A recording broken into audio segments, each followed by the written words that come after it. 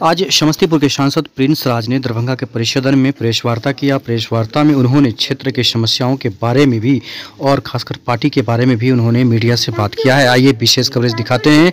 Prince राज का interview सुनाते हैं आपको। शेयर और सब्सक्राइब करिएगा। यहाँ पे उपस्थित अभी तो हम लोगों का सभी जितनी भी इकाई हैं, अभी उन्हें भंग किया गया है। और जल्द से जल्द नई सूची बनाई जाएगी, नए जिला अध्यक्ष का चयन होगा, सभी मज़बूत साथी को जोड़ेंगे। जितने भी हमारे चुनाव में, जितने भी नए लोग हमसे जुड़े, जो भी प्रत्याशी हमारे थे, उन्हें नई जिम्मेवारी दी जाएगी और हमें हमें खुशी है कि जिस तरीके से लोजपा आगे बढ़ रही है, काफ़ी मजबूती है। सर विधानसभा चुनाव में लोजपा लगभग अच्छी तैयारियों के साथ मैदान में आई थी लेकिन उस प्रकार का रिज़ल्ट नहीं आ पाया। क्या कारण रहा? देखिए रिज़ल्ट तो आपको पता ही है। जो सरकार वर्तमान में बनी है वो सीटें कितनी कितनी कितने कम आई कितने ज़्यादा ही आपके पास ही इसका परिणाम है। लेकिन जहाँ तक लोजपा की बात है हम लोग ने काफ़ी अच्छा प्रदर्शन किया। लोजपा अकेले मैदान में उतरी थी किसी गठबंधन के साथ नहीं थी कोई सहयोगी दल नहीं था। उसके बावजूद भी हमारी कितनी सारी सीटें हैं जहाँ पे हम 40 50 साठ हज़ार तक हम मत लेके आए हैं। कितनी सारी सीटें हैं जहाँ बीस तीस हज़ार भी हमें आए हैं। तो अकेले पार्टी हो, होने के नाते अकेले मैदान में उतरने पे इतने सारे इतना वोट अगर एक अकेला दल लाता है तो ये अच्छी बात है और हमें इससे पॉजिटिव वे में देखना चाहिए। तो आगामी चुनाव जो होने जा रहा है तो ये जो आने वाले वर्षों में होगा तो उसके लिए सर किस प्रकार की तैयारी आप लोगों का है? देखिए, हम संगठन का विस्तार कर रहे हैं। जैसा अभी हमने बताया कि अभी हल्की की अवसारी की की हुई है। और एक नए नए रूप में इसका गठन होगा। जितने भी हमारे जो नए साथी हमारे से जुड़े थे, जितने भी नए लोग हमसे जुड़े थे, मज़बूत लोग जुड़े हैं, उन्हें नई नई जिम्मेवारियाँ दी जाएँगी और पार्टी को मज़बूत करने का काम आगे किया जाएगा। गठबंधन की सर बात की जाए तो बिहार में गठबंधन आपकी एनडीए के साथ नहीं थे। केंद्र में क्या आगे रहेगा? देखिए अभी जैसा है वैसा ही है। कोई इसमें जो केंद्र में हमारा गठबंधन है उसमें कोई इसमें ऐसा नहीं है कि कोई बदलाव हो। लेकिन खैर वही बात है। हम अभी नई सरकार बनी है। हम उनका काम देख रहे हैं। जैसे कि हमारे राष्ट्रीय अध्यक्ष ने कहा कि भाई छः महीने हम काम देखेंगे उसके बाद हम बताएँगे। अगर मध्यावधि चुनाव के लिए आगाज़ हो रहा है इस पर क्या कहेंगे?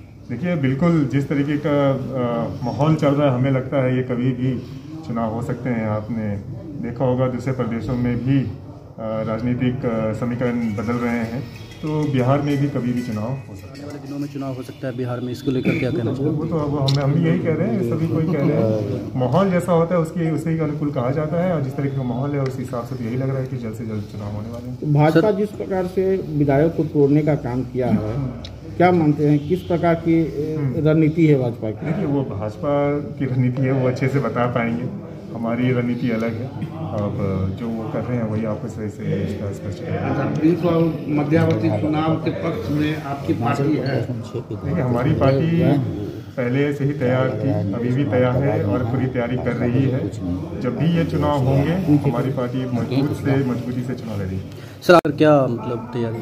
देखिए उसको लेके हमने पूर्व में भी हमने केंद्र में लिखा था कि भाई वहाँ जो अशोक पेमेंट बहुत जर्जर हालत में है वो ना के बराबर ही है।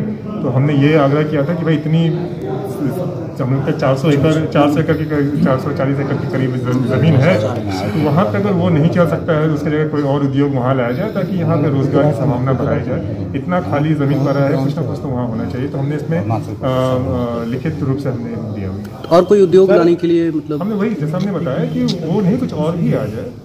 कोई और उद्योग लग जाए लेकिन हमारा मुख्य मुद्दा है कि वहाँ के स्थानीय लोगों को रोज़गार मिले उनका आय बढ़े उस उसके उसके काम होना चाहिए। सर भी राष्ट्रीय अध्यक्ष नीतीश कुमार के द्वारा किसी प्रकार का टिप्पणी नहीं किया जा रहा है क्या हम तो वो टिप्पणी करेंगे ना इसमें हम क्या टिप्पणी कर पाएँगे? आप क्या देखिए उनका है उनका है उनसे आप पूछे वो ज़्यादा अच्छा बता पाएँगे। क्या लग रहा है नीतीश कुमार दबाव में है अभी भी भाजपा के? अब वही जवाब दे पाएँगे इसका लेकिन हमें जिस तरह का माहौल दिख रहा है कभी भी चुनाव हो सकते हैं। हम यही कहेंगे। थैंक यू आया घाट का सड़क की भी बहुत हालत खराब है। आप चुनाव के बाद गए हमको भी इतना नहीं लगता था ना जब कहीं फ़ोन आता था हमने यार सच्चे में वहाँ पे? नहीं तो वहाँ का है पूरा हमारा दौरा सीधा वही रहेगा क्योंकि सब बाकी विधानसभा तो हम कई बार घूम लिए लेकिन ये